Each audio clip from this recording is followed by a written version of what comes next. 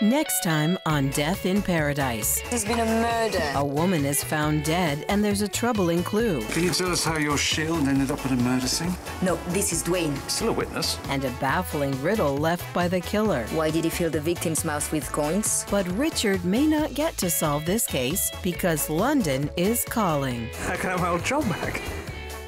Death in Paradise.